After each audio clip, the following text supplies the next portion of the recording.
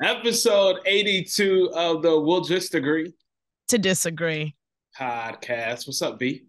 Hey, man, it's just one of them days. Mm-hmm. Who sings that? Monica? Who sings that song? Yeah, Monica. Yeah. Yeah, man. How's it um, going? You know what I love right now? I'm just putting this together is that we mm. both have on green and we're about to talk about money with the Powerball. Oh, dope. All right, dope. 1.9 billion dollars. But before we even get into this topic, put the disclaimer out there, B. Well, you know, we record the podcast in advance. So by the time you're watching this, some things have changed. There may now be a winner. The right. jackpot is already almost at $2.5 billion. And, uh, you know, the other day, Monday night, they had some sort of security breach uh, with, yeah, there was a breach of protocol with security and everybody's looking side eyed like the lottery. Uh, what y'all doing? Mm. But anyway, there were memes all over social media about it. Hilariousness. But they did pick the winning numbers uh Tuesday morning. Mm-hmm. And now there was no winner for that as of Tuesday morning. But now that thing rolled over again. But who knows? By the time you watch this, there may be a winner. We don't know. We just want to put that not. disclaimer out. Yeah, right. because we uh, do this uh, podcast in advance. But anyway, so what would you do, Ryan, if you won 2.5 billion dollars or whatever the jackpot may be by the time this goes up? If I won this money, there's a few things. One, uh, I'm one of those you will not know that I won the money. Mm-hmm. I'm not mm-hmm. changing my lifestyle. I'm not changing what I wear. You may gradually see, but it would mm-hmm. not be an overnight. Brian won the Powerball. Yeah. Secondly, secondly, you would not see me on this podcast no more. Um, if I win this, what, what, that got, about me? That got your attention back over here. What about me? Um, no. just leave me to do the podcast by myself. If I win this money, if I won this money, right? I have done what I wanted to do in this industry, but I am done with it. I'm done working. I'm done with this industry. I'm done with this podcast. I'm going somewhere chilling. The Lord Where wanted, are you going? out the country, away from y'all fools. Nowhere that I even want to see y'all no more. I'm going out the country and I'm chilling. The I'm just trying to figure out how did I get thrown in the y'all category? It's not you. It's a lot of people here that I would not you, see. But you're saying y'all. Yes, you too. What? What? A why aren't you saying, well, Bionce, you could ride out with me on one of the trips? That's what I'm expecting to hear. Well, a lot of the trips that I will be able to afford now, you already go on those trips now, present day Powerball winner or not. So you'll probably already meet me out there. You know what I'm saying? So it really wouldn't be that much. But you can't treat now that you're a whole billionaire. You can't be like, "Come on, B, I got you." Okay, we've been doing. This is our 82nd episode of the We'll Just Agree to Disagree podcast. You got about eighty-two dollars and fifty cent coming your way if I win this Powerball and take taxes out of that. You got to get seventy-five dollars coming and I can't go nowhere on $75. Man, mm. that's crazy. Okay, doing, I thought you had my back. No, uh, like on also some, some seriousness. I am going to build tiny homes across the entire US in different communities for the homeless. That's dope. then I'm also going to have some initiatives for the elderly, like um, community centers for the elderly, those who live in nursing homes and um, different institutions, so that they can get out and enjoy their final years. I love that those are two things that have always been on my heart to do even as a little kid. So mm-hmm. man i would make that a reality i promise you. I don't know how far two and a half billion could go across the country as far as building homes but it definitely definitely could be an impact. I love that and those are i do really like those ideas and that was a great mm-hmm. that was a great answer. Now i want bionce. You no because I really think you are going to do that without. Like, I think you're. Gonna oh, I thought you were trying to treat my ideas, boy. Okay, no, no, absolutely not. But oh, okay. you give me a little bit more answer of what you gonna do if you still had half of that money left. Like I want you to give me an answer. Like you going to the club, you getting bottle service. Like what is beyond? You may be going to King of Diamonds. You know what I mean? Like what? What, what is Bionce gonna do? First of all, that is so not even my personality. I just feel like with money with like me. that, with money like that, we gotta stretch you, Bionce. We need you the rolling. Come on, B. Have you ever been to a strip club? I shall not answer that. I used to live in Las Vegas, so you been you been you like them, B? Hated it. Hated it, hated it. Went for a girl's birthday party and I was like, get me out of here. I didn't want to be the prude, but I stuck in as long as I could. And then I was like, never again. So it, it was never again. I probably was just 22 at the time. Frantic. You know how you are when you turn 21. Uh-huh. I went to the club like maybe twice. That was it.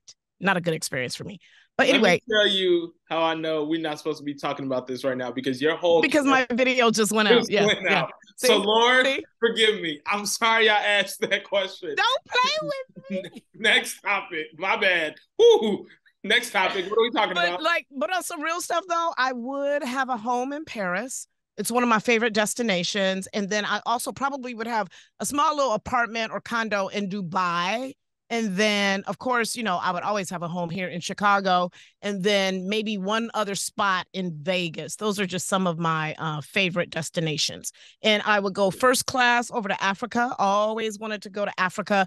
That's one place on my list that I have not traveled to yet, but uh, definitely would do that like all the way first class. And then outside of that, I would still have a job. I would still work in radio I would still, you know, try to dip and dab into some TV stuff.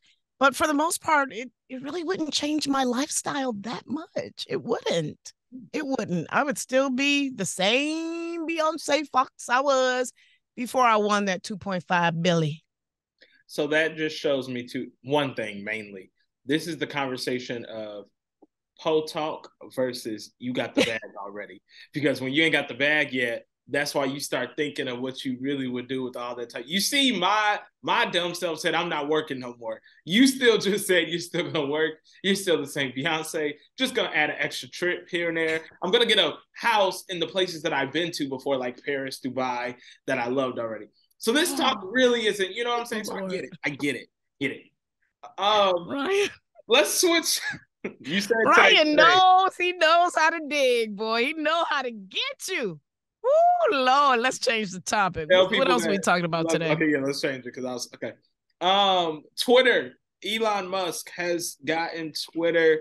There's been so much going on as far mm. as freedom of speech, as yeah. far as he's now charging you eight dollars for a verification check. Mm-hmm. As far as I think I've just read the other day, he let go of thousands of employees already yeah. at Twitter. And now they're calling some of them back though. I know you, it's a whole mess. What are your thoughts? Like, I, have always thought he was kind of eccentric and a little different, and I right. don't mind that at all because I like people who are quite eccentric and different. So that that's not the issue. The issue is why is he allowing some things like the use of the N word and just uh, just a whole bunch of memes that are very inappropriate, and it just goes to show you it's kind of scary that people in power are more than just influential they can really have a big impact on the way we do things and the way we believe things and the way we're allowed to say things. And I just don't like that power. I don't, I don't like it at all. We're, we're in a day and age where it's so weird. Uh, it seems like we're going backwards. It seems mm-hmm. like back in the day, if you were not of our culture, using the N word was something that if you did it, you did not do it in front of us, but you were not mm-hmm um, I don't know, bold enough to say it on Twitter. And if you did, I feel like we used to live in a day and age where social media immediately would take that down, would rip your account, would suspend yeah. your account. Where now it's a free for all. But I say this to say, and I'm not I'm not gonna turn left, but I think we pick and choose what's a big deal to speak on and what's not and I think we pick and choose what words can be said with um what's the word I'm trying to I think you know what I'm touching on you're trying to be politically correct. I'm being very politically correct right now. Okay. I just think there are certain things that can be said about some things that will not get the same response as if you say th- some things about certain things. And I think yeah. this is where that whole freedom of speech category gets confusing because mm-hmm. you can say whatever you want in this day mm-hmm. and age, but can you really say whatever you want about some people versus others? That's what yes. I'm trying to orchestrate. I, I get it 100%. And Kanye West comes to mind. Yep, I understand it. Kanye West, uh, Kyrie Irving. Um, yeah, I, I get it 100%. And but then just... in the same boat, Brett Favre. Yeah. And, and, there's a whole long list of things. Isn't it funny how it works for some people and not for others? And and let's be clear, this is not just happening all of a sudden. Let's be clear, it's not only happening on Twitter. Let's be mm-hmm. clear, me and Bionce have had these conversations for as long as I've known Bionce, that we personally see some things happen for others that we don't for people that look like you and I. Mm-hmm. Mm-hmm. Yeah, it's it's it's pretty much an everyday occurrence in our lives, and it's just like, whoa, how does that happen? But now it just seems but... like I'm honestly going to take it back to Trump. When Trump became president, in my opinion, I don't even like saying his name. Forty five. When he forty five became president, I believe it gave a voice to those mm-hmm. who felt the same as him but kept mm-hmm. it underneath and kept it behind closed doors. Now I feel like they say and feel whatever.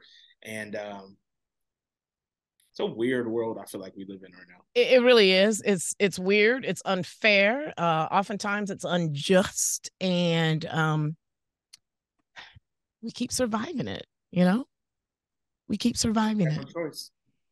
Yeah. Yep. But I know a higher power, higher than Elon Musk, higher than Donald Trump, higher than all the people in Hollywood and beyond. And so that's how I make it through. And on that note, episode 82 of the We'll Just Agree to Disagree podcast. Bionce can pass the collection plate on that one. and uh, where can they follow you at on social media? at Bionce Fox, B I O N C E F O X. And if you guys don't follow Bionce, follow her because I love on Sundays. You know, I'm just now getting back going to church, but there were some Sundays that I wasn't going to church like I should have been. But you can always count on Bionce to give you a scripture from the Lord on Facebook yes. and Twitter every yeah. Sunday. And when I tell you, I really be like, all right, what is B saying this morning? Thank you, B. All right. So make sure. wow. Sure okay, good. Good. Yeah, good. no, That's for real. Keep. It's impactful. Those. Yes, keep okay. doing those. Awesome. Um, and they're from the heart. They're from the heart. A lot of times though, they will go with what's going on in society or just my personal life where you'd be like, how did she know? Um, mm, interesting. Yeah, keep doing that. You guys okay. can follow me at Ryan Media Lee. Make sure you subscribe to the podcast on YouTube at We'll Just Agree to Disagree. And you can listen to it on the iHeartRadio app. Episode 83 next week, be. Yeah, man, we are inching our way to 100. Yeah, 100. Woohoo! All right, I'll talk to you guys later. Bye, B. Bye.